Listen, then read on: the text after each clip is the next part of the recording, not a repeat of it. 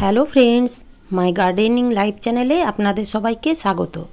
বন্ধুরা, প্রথমেই বলি, টবের মধ্যে গাছ লাগালে যে সমস্ত গাছগুলো সুন্দর হবে এবং প্রচুর ফুল দেবে তা কিন্তু নয়। এই বছর আমি কিন্তু একটাও টব কিনিনি। নানান রকমের ফুল গাছ, সবজি গাছ, আমি কিন্তু আটার প্যাকেট, সাধারণ পলিথিন এই রকম টিনের কন্টেনার, ফেলে দেওয়া যে কোনো বাতিল হয়ে যাওয়া জিনিসের মধ্যে আমি এবছর গাছ লাগিয়েছি। যে কোনো জিনিসেই আপনারা গাছ লাগান না কেন। সব সময় একটা দিক খেয়াল রাখতে হবে, যেটা হচ্ছে যে জিনিসে আপনারা গাছ লাগাবেন, তাতে যেন জল নিকাশি ব্যবস্থাটা ঠিকঠাক থাকে।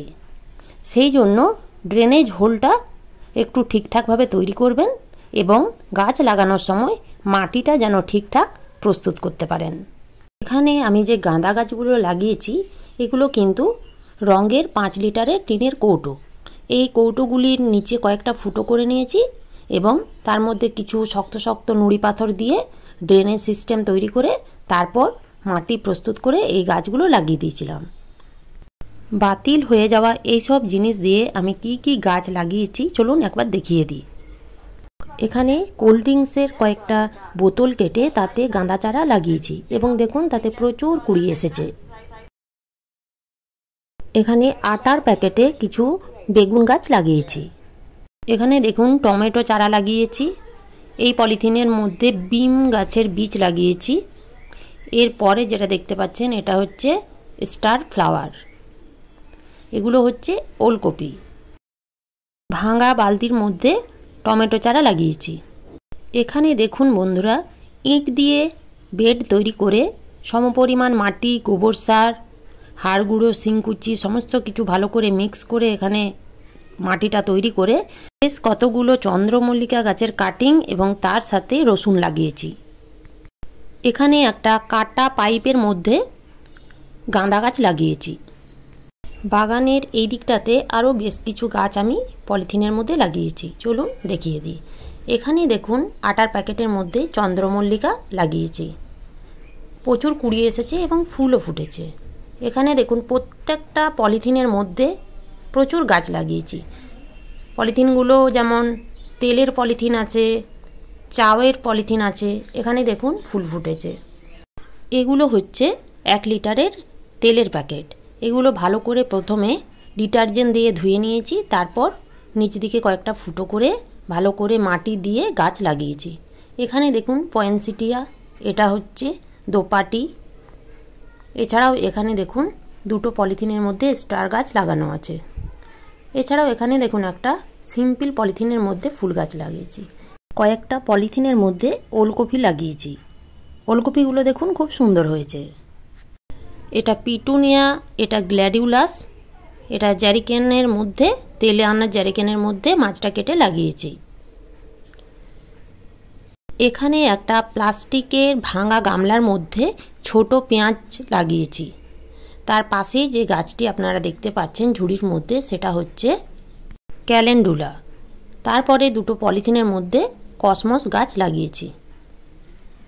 এখানে একটা ছোট্ট প্লাস্টিকের কৌটো আর্ধেক করে কেটে কালেঞ্চ লাগিয়েছি।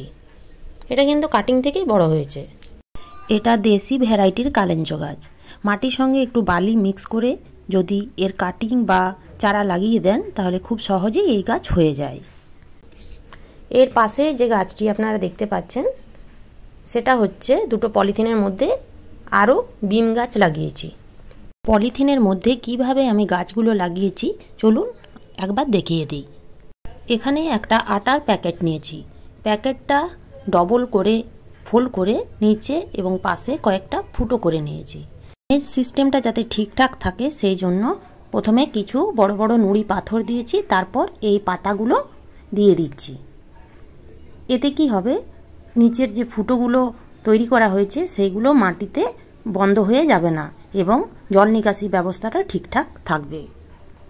এরপর যে গাছের জন্য যে রকম মাটি লাগবে সেই রকম মাটি প্রস্তুত করে দিয়ে দিতে হবে। কিছুটা পলিথিনের মধ্যে দিয়ে দেওয়ার পর অবশ্যই মাটিটা চেপে চেপে দিতে হবে।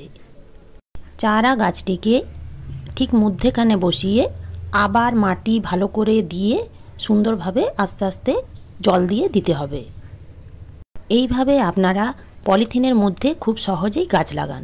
তবে জলের দিকটা একটু খেয়াল রাখতে হবে। কারণ পলিথিনের মধ্যে একবার যদি জল দেওয়া হয়, তাহলে দু তিন দিন মোটামুটি মাটি ভিজে থাকে। তাই জলটা একটু বুঝে বুঝে দিতে হবে।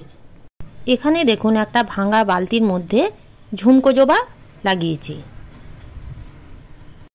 এখানে দুটো পলিথিনের মধ্যে ডিসেম্বর ফুল ফুটে আছে। যদিও এই ফুলগুলোর আমি ঠিক নাম জানি না, আমাদের এখানে ডিসেম্বর ফুল নামেই পরিচিত। এই ফুলগুলো ডিসেম্বর এবং জানুয়ারি মাসে প্রচুর ফোটে। আপনাদের যদি এই ফুলগুলোর নাম জানা থাকে, তাহলে প্লিজ কমেন্টে জানাবেন। এদিকে দেখুন একটা পাইপ এবং কোল্ড ড্রিঙ্কসের বোতলের মধ্যে পার্পেল হার্ট প্ল্যান্ট লাগিয়েছি এবং দেখুন হালকা হালকা বেগুনি কালারের ফুলও ফুটেছে। এই গাছগুলোতে খাবার বলতে গাছ লাগানোর কিছুদিন পর থেকেই আমি সরিষার খোল পচানো তরল সার এবং সবজি পচানো তরল সার প্রত্যেক সপ্তাহে দিয়ে গেছি। বাস আর কিছু দিইনি। এতেই কিন্তু এই পলিথিনের মধ্যে যে গাছগুলো বা কন্টেনারের মধ্যে যে গাছগুলো আপনারা দেখতে পেলেন, সেগুলো কিন্তু এই দুটি খাবার দিয়েই এত সুন্দর গ্রোথ হয়েছে। এছাড়াও প্রত্যেক সপ্তাহে আমি এই গাছগুলোর মধ্যে কীটনাশক এবং ছত্রাকনাশক একবার করে স্প্রে করে গেছি। বন্ধুরা, আপনারা সবাই গাছ লাগান। টবের মধ্যেই যে গাছ লাগাতে হবে এমন নয়। হাতের সামনে যা কিছু ফেলে দেওয়া জিনিস ফেলে না দিয়ে তাতেই গাছ লাগান। সুন্দর গাছ হবে। গাছ লাগালে শরীর এবং মন দুটোই ভালো থাকবে। আজকে আমার যদি ভিডিওটা আপনাদের ভালো লেগে থাকে, তাহলে প্লিজ একটা লাইক শেয়ার এবং সাবস্ক্রাইব করে পাশে থাকবেন। আপনারা সবাই ভালো থাকবেন, সুস্থ থাকবেন। ধন্যবাদ।